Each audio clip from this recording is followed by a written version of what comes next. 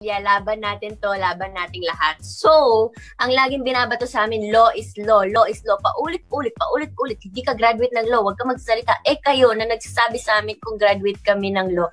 Graduate ka din ba ng law? May alam ka ba sa batas? May alam ka ba sa nangyayari ngayon? May alam ka, napanood mo ba yung Senate hearing ng ABS sa, sa Senado? Alam mo ba kung ano yung sinasabi mo?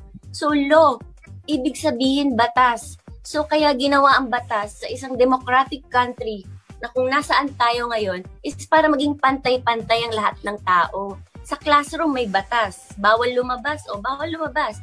Pero pag sinabi pag nag-comply ka na bawal lumabas, pero may sina- may ginawa ka sa pinagbabawal nila, inayos mo yung law ng classroom nyo at sinabmit mo ulit, ay pwede nang pala ikaw lumabas. So kung wala ka namang nilabag na batas, bakit ka ipapasara ng isang NTC na pag-aari ng gobyerno?